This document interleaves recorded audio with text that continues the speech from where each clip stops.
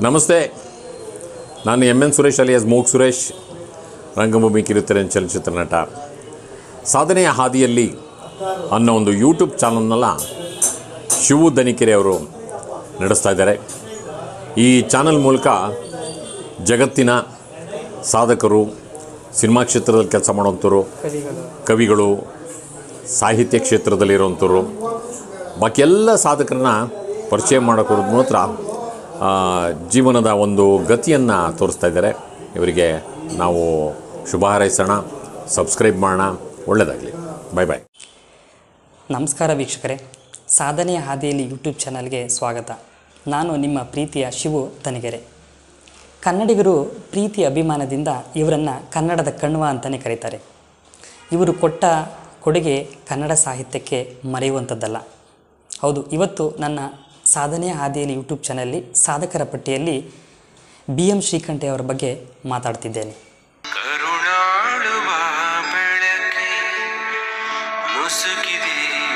ಇಪ್ಪತ್ತನೇ ಶತಮಾನದ ಆದಿಭಾಗದಲ್ಲಿ ಕನ್ನಡ ಸಾಹಿತ್ಯಕ್ಕೆ ಹೊಸ ರೂಪವನ್ನು ನೀಡಿದ ನವೋದಯದ ಪ್ರವರ್ತಕ ಮತ್ತು ಕವಿ ಸಾಹಿತಿ. ಸುಮಾರು ಎಪ್ಪತ್ತು ವರ್ಷಗಳ ಹಿಂದೆ ಕನ್ನಡಿಗರು ಕನ್ನಡ ಮಾತನಾಡಲು ಸಂಕೋಚ ಪಡುತ್ತಿದ್ದ ಕಾಲ. ಆಗ ಎಲ್ಲ ಕಾರ್ಯವೂ ಇಂಗ್ಲೀಷ್ನಲ್ಲೇ ನಡೆಯುತ್ತಿತ್ತು. ಕನ್ನಡಕ್ಕೆ ಯಾವುದೇ ಉನ್ನತ ಸ್ಥಾನಮಾನಗಳಿರಲಿಲ್ಲ. ಅಂತಹ ಸಮಯದಲ್ಲಿ ಕನ್ನಡವನ್ನು ಅದಕ್ಕಿರುವ ಒಂದು ನ್ಯಾಯವಾದ ಸ್ಥಾನವನ್ನು ದೊರಕಿಸಿಕೊಡಲೇಬೇಕು ಎಂದು ಆಶಿಸಿ ತಮ್ಮ ಜೀವನವನ್ನು ಕನ್ನಡಕ್ಕಾಗಿಯೇ ಮುಡಿಪಾಗಿಟ್ಟವರು ಬಿ ಎಂ ಶ್ರೀಕಂಠಯ್ಯನವರು. ಅಂದರೆ ಬೆಳ್ಳೂರು ಮೈಲಾರಯ್ಯ ಶ್ರೀಕಂಠಯ್ಯ ಬಿ ಎಂ ಶ್ರೀ ಅವರು ತುಮಕೂರು ಜಿಲ್ಲೆಯ ತುರುವೇಕೆರೆ ತಾಲೂಕಿನ ಸಂಪಿಕೆ ಎಂಬ ಹಳ್ಳಿಯಲ್ಲಿ ಸಾವಿರದ ಎಂಟುನೂರ ಎಂಬತ್ನಾಲ್ಕರ ಜನವರಿ ಮೂರರಲ್ಲಿ ಜನಿಸಿದರು. ಅವರ ತಂದೆ ಮೈಲಾರಯ್ಯನವರು. ತಾಯಿ ಭಗೀರಥಮ್ಮ. ಶ್ರೀಕಂಠಯ್ಯನವರು ತಮ್ಮ ಬಾಲ್ಯದ ಶಿಕ್ಷಣವನ್ನು ಬೆಳ್ಳೂರಿನಲ್ಲೇ ಕಲಿತರು. ಸಾವಿರದ ಒಂಬೈನೂರ ಆರರಲ್ಲಿ ಮೈಸೂರಿನ ಮಹಾರಾಜ ಕಾಲೇಜಿನಲ್ಲಿ ಬಿ ಎ ಪದವಿ, ಸಾವಿರದ ಒಂಬೈನೂರ ಏಳರಲ್ಲಿ ಮದ್ರಾಸು ವಿಶ್ವವಿದ್ಯಾಲಯದಲ್ಲಿ ಬಿ ಎಲ್ ಪದವಿ, ಸಾವಿರದ ಒಂಬೈನೂರ ಒಂಬತ್ತರಲ್ಲಿ ಎಂ ಎ ಪದವಿ ಪಡೆದರು. ಅದೇ ವರ್ಷ ಮೈಸೂರು ಕಾಲೇಜಿನಲ್ಲಿ ಇಂಗ್ಲಿಷ್ ಅಧ್ಯಾಪಕರಾಗಿ, ಸಾವಿರದ ಒಂಬೈನೂರ ಮೂವತ್ತರಲ್ಲಿ ಪ್ರಾಧ್ಯಾಪಕರಾಗಿದ್ದ ಇವರು ನಾಲ್ಕು ವರ್ಷಗಳ ಕಾಲ ಕುಲಸಚಿವರಾಗಿದ್ದರು. ಆಗಲೇ ಮೈಸೂರಿನ ಮಹಾರಾಜ ಕಾಲೇಜಿನಲ್ಲಿ ಅಧ್ಯಾಪಕರಾಗಿ ಸೇರಿಕೊಂಡರು. ಮೈಸೂರಿನ ಮಹಾರಾಜ ಕಾಲೇಜಿನಲ್ಲಿ ಇಪ್ಪತ್ತೈದು ವರ್ಷ ಸೇವೆ ಸಲ್ಲಿಸಿ ಸಾವಿರದ ಒಂಬೈನೂರ ಮೂವತ್ತರಲ್ಲಿ ಬೆಂಗಳೂರಿನ ಸೆಂಟ್ರಲ್ ಕಾಲೇಜ್ಗೆ ವರ್ಗವಾದರು. ಅನಂತರ ಅವರು ಸಾವಿರದ ಒಂಬೈನೂರ ನಲವತ್ತ ಎರಡರಲ್ಲಿ ಎರಡರವರೆಗೆ ಈ ಕಾಲೇಜಿನಲ್ಲಿ ಏಳಿಗೆಗಾಗಿ ದುಡಿದು ಸಾವಿರದ ಒಂಬೈನೂರ ನಲವತ್ನಾಲ್ಕರಲ್ಲಿ ಈ ಧಾರವಾಡದ ಕೆ ಇ ಬೋರ್ಡ್ನ ಮುಖ್ಯಸ್ಥರಾಗಿ ನೇಮಕಗೊಂಡರು. ಅಲ್ಲಿಯೇ ಅವರು ಆರ್ಟ್ಸ್ ಕಾಲೇಜ್ಗೆ ಪ್ರಾಂಶುಪಾಲಕರಾಗಿ ಕೊನೆಯವರೆಗೂ ಅಲ್ಲಿಯೇ ಕೆಲಸ ಮಾಡಿದರು. ಬಿ ಎಂ ಶ್ರೀಕಂಠನವರು ಕನ್ನಡ ಭಾಷೆ ಮತ್ತು ಸಾಹಿತ್ಯದ ಬೆಳವಣಿಗೆಗಾಗಿ ಅವಿಶ್ರಾಂತವಾಗಿ ದುಡಿದರು. ಹಾಗೂ ಅವರ ಪ್ರೀತಿಯ ವಿದ್ಯಾರ್ಥಿಗಳಾದ Masti, Kuvempu, S V Ranganna Tinam Srikantaiah, G P Rajaratnam, D L Narasimhachar ಮುಂತಾದ ಮಹನೀಯರುಗಳಿಗೆ ಕನ್ನಡದಲ್ಲಿ ಸಾಹಿತ್ಯ ರಚನೆ ಮಾಡಲು ಪ್ರೋತ್ಸಾಹಿಸಿದರು. ಅವರು ಕನ್ನಡದಲ್ಲಿ ಕೆಲವು ಉತ್ತಮ ನಾಟಕಗಳನ್ನು ಬರೆದರು.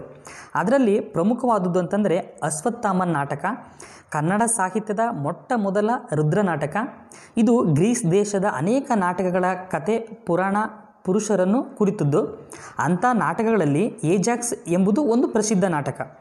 ಆ ನಾಟಕವನ್ನು ಬರೆದವನು ಸಾಪೋಕ್ಲಿಸ್ ಅಂತ. ಗ್ರೀಸ್ ದೇಶದ ಮಹಾನ್ ನಾಟಕಗಳಲ್ಲಿ ಇವರು ಒಬ್ಬರು.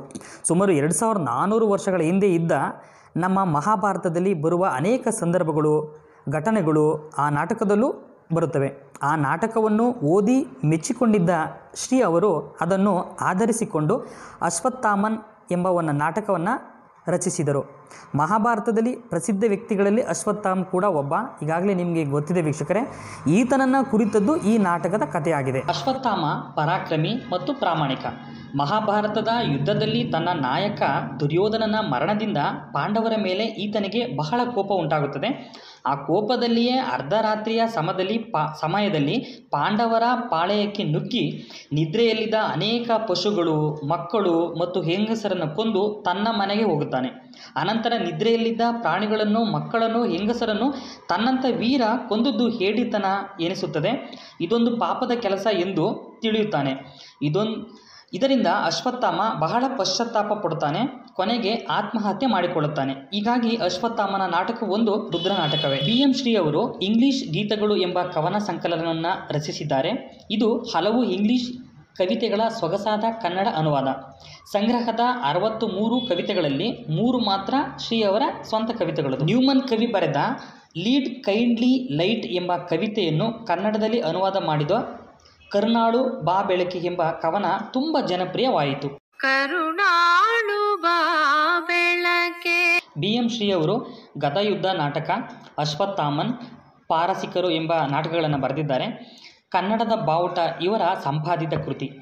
ಕನ್ನಡಿಗರೇ ಒಳ್ಳೆಯ ಸಾಹಿತ್ಯ ಕನ್ನಡ ಛಂದಸ್ಸಿನ ಚರಿತ್ರೆ ಕನ್ನಡ ಸಾಹಿತ್ಯ ಚರಿತ್ರೆ ಕನ್ನಡ ಮಾತು ತಲೆ ಎತ್ತುವ ಬಗ್ಗೆ ಥರ ಹಲವಾರು ಕೃತಿಗಳನ್ನು ಇವರು ರಚಿಸಿದ್ದಾರೆ. ಬಿ ಎಂ ಶ್ರೀ ಅವರಿಗೆ ಸಾವಿರದ ಒಂಬೈನೂರ ಮೂವತ್ತೆಂಟರಲ್ಲಿ ಅವರ ಅವಿಸ್ಮರಣೀಯ ಕೆಲಸಕ್ಕಾಗಿ ಮೈಸೂರಿನ ಮಹಾರಾಜರು ರಾಜ ಶಕ್ತ ಎಂಬ ಬಿರುದನ್ನು ನೀಡಿ ಗೌರವಿಸಿದರು.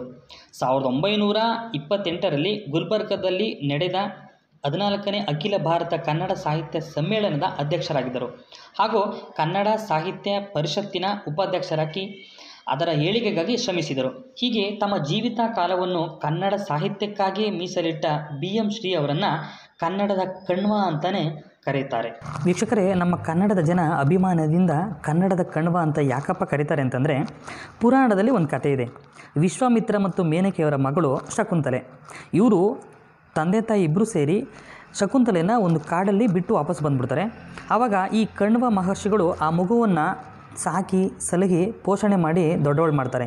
ಅದೇ ಥರ ನಮ್ಮ ಬಿ ಎಂ ಶ್ರೀಕಂಠೆಯವರು ನಮ್ಮ ಕನ್ನಡವನ್ನು ಒಂದು ಮಟ್ಟಕ್ಕೆ ತೆಗೆದುಕೊಂಡು ಹೋಗಿ ಅದನ್ನು ಪಾಲನೆ ಪೋಷಣೆ ಮಾಡಿ ಇವತ್ತಿಗೂ ಕೂಡ ಆ ಕನ್ನಡ ನೆಲೆಯಾಗಿ ಉಳಿದಿದೆ. ಅದಕ್ಕಾಗಿಯೇ ನಮ್ಮ ಕನ್ನಡದ ಜನರು ಅಭಿಮಾನದಿಂದ ಬಿ ಎಂ ಶ್ರೀ ಅವರನ್ನು ಕನ್ನಡದ ಕಣ್ವ ಅಂತಲೇ ಕರೀತಾರೆ. ಹೀಗೆ ಸುಮಾರು ನೂರು ವರ್ಷಗಳ ಹಿಂದೆ ಕನ್ನಡ ಕಟ್ಟಿದ ಶ್ರೇಷ್ಠ ಸಾಹಿತಿ ನಮ್ಮ ಬಿ ಎಂ ಶ್ರೀಕಂಠಯ್ಯನವರು ಹಾಗೆಯೇ ಸಾವಿರದ ಒಂಬೈನೂರ ಇಪ್ಪತ್ತೆಂಟರಲ್ಲಿ ಕಲಬುರಗಿಯಲ್ಲಿ ನಡೆದ ಅಖಿಲ ಭಾರತ ಕನ್ನಡ ಸಾಹಿತ್ಯ ಸಮ್ಮೇಳನದ ಅಧ್ಯಕ್ಷರಾಗಿದ್ದರು. ನಮ್ಮ ಬಿ ಎಂ ಶ್ರೀ ಅವರು ಕನ್ನಡ ಸಾಹಿತ್ಯ ಪರಿಷತ್ತಿನ ಹೇಳಿಗೆಗಾಗಿ ಅಪಾರವಾದ ಸೇವೆಗಾಗಿ ಅವರು ಕೊಟ್ಟಂಥ ಕೊಡುಗೆ ಅಷ್ಟಿಷ್ಟಲ್ಲ. ಯಾಕಂದರೆ ಸಾವಿರದ ಒಂಬೈನೂರ ಮೂವತ್ತೆಂಟರಿಂದ ಸಾವಿರದ ನಲವತ್ತೆರಡರವರೆಗೆ ಸತತವಾಗಿ ನಾಲ್ಕು ವರ್ಷಗಳ ಕಾಲ ಕನ್ನಡ ಸಾಹಿತ್ಯ ಪರಿಷತ್ಗೆ ಉಪಾಧ್ಯಕ್ಷರಾಗಿದ್ದರು. ಆ ಸಂದರ್ಭದಲ್ಲಿ ನಮ್ಮ ಕನ್ನಡ ಸಾಹಿತ್ಯ ಪರಿಷತ್ತಿನಲ್ಲಿ ಸ್ವತಃ ಪುಸ್ತಕಗಳನ್ನು ಮುದ್ರಣ ಮಾಡಲು ಪ್ರಿಂಟಿಂಗ್ ಪ್ರೆಸ್ ಇರಲಿಲ್ಲ. ಸಾವಿರದ ಒಂಬೈನೂರ ಮೂವತ್ತೆಂಟರಲ್ಲಿ ಸ್ವತಃ ಬಿ ಎಂ ಶ್ರೀ ಅವರು ತಮ್ಮ ಸ್ವಂತ ಹಣದಿಂದ ಆರು ಸಾವಿರದ ಐನೂರು ರೂಪಾಯಿ ಹಣವನ್ನು ಕೊಟ್ಟು ಒಂದು ಪ್ರಿಂಟಿಂಗ್ ಪ್ರೆಸ್ ಮಿಷಿನನ್ನು ತಂದು ಕೊಡ್ತಾರೆ ಅದು ಇವತ್ತಿಗೂ ಕೂಡ ಇದೆ. ಅದಕ್ಕೆ ಹೇಳಿದ್ರು ವೀಕ್ಷಕರೇ, ಬಿ ಎಂ ಶ್ರೀ ಅವರ ಕೊಡುಗೆ ಕನ್ನಡ ಸಾಹಿತ್ಯ ಪರಿಷತ್ತಿಗೆ ಅಪಾರವಾದದ್ದು.